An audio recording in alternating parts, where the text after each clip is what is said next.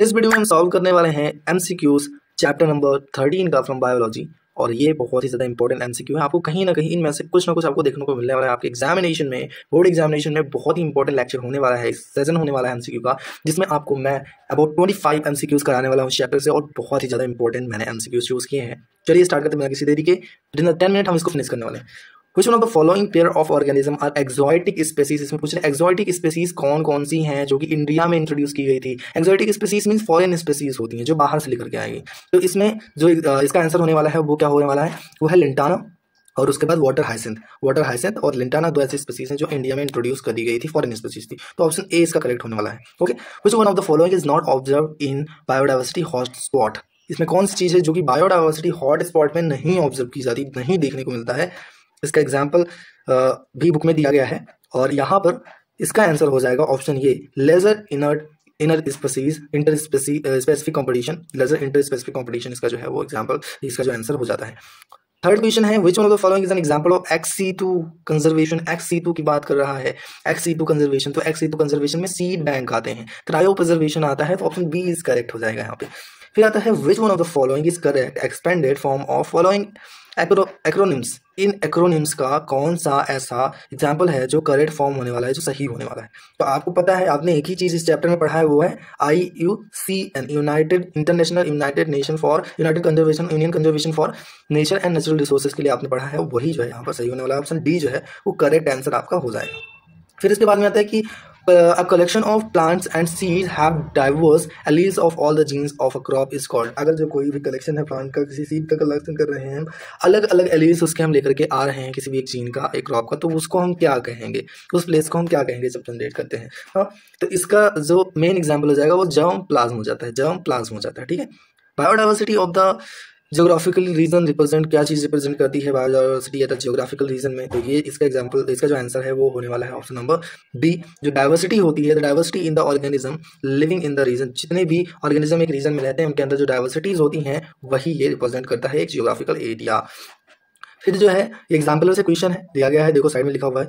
सातवां क्वेश्चन है which which of the following countries has the highest biodiversity किसमें जो है कैसी कंट्री है? किस कौन सी कंट्री है जिसमें हाइएस्ट बायोडावर्सिटी है? तो ज़ाहिर सी बात है साउथ अमेरिका नहीं होगी। क्या हो जाएगा? साउथ अफ्रीका हो जाएगा। साउथ नहीं नहीं नहीं।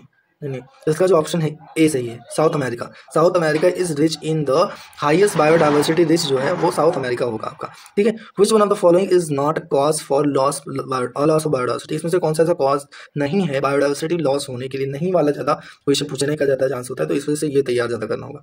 तो इसका ऑप्शन सी हो जाएगा keeping animals in a zoological park अगर किसी भी एनिमल को आप जूलॉजिकल पार्क में रख रहे हो तो उससे कोई भी बायोडाइवर्सिटी लॉस नहीं होती है। Which of the following is not a invasive alien species in the Indian context India के कॉन्सेप्ट में कौन सा ऐसा स्पेसीज है जो इन्वेसिव नहीं है? जो इन्वेसिव मीन्स बहुत ज़्यादा फैल जाना फैल जाना एकदम वायरस के तरीके से। तो इसका ऑप्शन बी हो जाएगा कैनाडॉन कैनाडॉन जो है, वो इसका राइट आंसर होने वाला है राइट आंसर होने वाला टेंथ जो है tenth where among the following will you find pitcher plant इनमें से किस जगह पे आपको पिचर प्लांट मिलने की संभावना है? प्लीज़ ऑप्शन अपना गेस करिए। इसका ऑप्शन ये होने वाला है rain forest of the north east India इसका आंसर होने वाला है। तो which one of the following is not a major characteristics feature of the biodiversity horse का कौन सा मेजर करेक्टरिस्टिक्स फीचर नहीं है नहीं है। इस एग्ज़ाम्पल से दिया गया अभी क्वेश्चन क्वेश्चन सारे बहुत इंपॉर्टेंट है। तो इसका ऑप्शन सी हो जाएगा। Mostly located in the tropics tropics में हमेशा नहीं रहते। इनका रीजन हम अलग भी कर सकते हैं। फिर आ जाता है मैच ऑफ़ द फॉलोइंग कि match the animals given in the column column में दिए गए एनिमल्स को मैच करना है। मैच करना है। मैच करना है। कॉलम में दिए ऑर्गेनिज्म को मैच करना है। इन लोकल कॉलम में सेकंड वाले कॉलम से मैच करना है। तो दिस इज़ द जो है, इसका जो है, हमें पता है कि स्टीलर काउ कहाँ की थी? रसिया की स्टीलर काउ हो गई। स्टीलर काउ हो गई, रसिया की। रसिया की हो गई। और थैलेसियन इसमें देखो, आपको दो तीन पता है तो आप बहुत अच्छे से कर ले जाओगे। थैलेसियन जो है वो ऑस्ट्रेलिया से बिलोंग करती है। तो दो पता चल गया। अभी देखो डी का होने वाला है सेकंड तो डी का सेकंड किसमें है? डी का सेकंड दो में मिल रहा है हमको। अभी हमें एक और ढूंढना है। तो हम देख रहे हैं सी का सी का कौन सा ऑप्शन जा रहा है सेकंड कॉलम में? तो दैट इज़ फोर्थ जा रहा है। तो सी के साथ फोर्थ कौन सा ऑप्शन डी करेक्ट हो जाएगा आपका? ऑप्शन डी करेक्ट हो जाएगा आपका। ऑप्शन डी करेक्ट हो जाएगा। ठीक? अब थर्ड वाले देखते हैं। थर्ड में थर्टीन में देखते हैं कौन सा है। What is common to the following plants इन सारे प्लांट्स के लिए क्या चीज़ कॉमन है? तो नाम पढ़ लीजिए सारे का। डॉल्फिया एकोनिटियम ये सारे के लिए क्या चीज़ कॉमन है? तो इसके लिए जो कॉमन है सबसे ज़्यादा, वो इसका हो जाता है all are prone to over exploitation से ये सब के सब ग्रसित है। सबका ओवर एक्सप्लॉटेशन ऑप्शन सी इसका करेक्ट हो जाएगा। फोर्टीन क्वेश्चन जो पूछ रहा है, वो कह रहा है वन ऑनर्ड ऑर्ड राइनोसेरॉस राइनोसेरॉस है one on rhinoceros is specific to which of the following sanctuary के लिए बहुत ज़्यादा स्पेसिफिक हो सकता है? तो इसका हो जाएगा ऑप्शन सी काजीरंगा, जबकि ये जो है इस बार के, इस बार के सिलेबस में नहीं है, ये पार्ट कटा हुआ है। तो इसको आप छोड़ सकते हैं स्किप कर सकते हैं, ठीक है?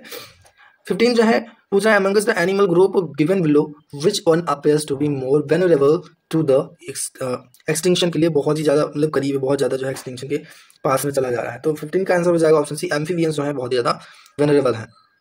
फिर which of the following question number sixteen है which of the following is an endanger plant species India में कौन सा ऐसे एक है जो इंडेंजर प्लांट स्पेसीज है? तो ऑप्शन बी हो जाएगा, इसका मतलब तीन के तीनों जो है वो इंडेंजर की कैटेगरी में है। इंडेंजर की कैटेगरी में है, खत्म होने की कगार पे है। What question number seventeen what is common to lantana lantana के लिए क्या कॉमन है? इकोनो इकोर्निया के लिए क्या कॉमन है? और अफ्रीकन कैटफिश के लिए क्या चीज़ ऐसी जो है इसमें कॉमन है? तो इसका जो ऑप्शन जो हो जाता है, आप लेना, ऊपर से इसका जो ऑप्शन है, वो डी हो जाता है कि सारी की सारी स्पेसीज होती है, ना तो आर नाइदर थ्रेटन ना तो थ्रेटन स्पेसीज है not in danger species of the India ठीक है? फिर क्या है? एटीन के लिए keystone species diverse protected because this क्यों ये डाइवर्सिटी प्रोटेक्ट की जाती है, क्योंकि इसलिए इनका रीजन बताना है। तो रीजन है इसका कि play an important role in supporting other species को सपोर्ट करने में इंपॉर्टेंट रोल प्ले करती है तो इसका ऑप्शन डी हो जाएगा। फिर नाइनटीन नाइनटीन में पूछा which on the following statement is correct इसमें से कौन सा स्टेटमेंट जो है वो करेक्ट है? तो इसका करेक्ट स्टेटमेंट जो है स्टीलर काउ जो होती है इज़ एक्सटिंक्ट एनिमली खत्म हो चुकी है, रसिया की थी। Which uh, uh, 20 क्वेश्चन पूछ रहा है which among the uh, ecosystem mentioned below where can one find maximum diversity आपको कहाँ मिल सकती है? Maximum diversity आपको कहाँ मिल सकती है? तो इसमें जो है वो आ जाएगा कोल रेफ्स ठीक? 21 में पूछ रहा है genetic diversity in agriculture crop is threatened by genetic diversity agriculture crop में कहाँ पे कौन से थ्रेटन हो सकती है किससे हो सकती है?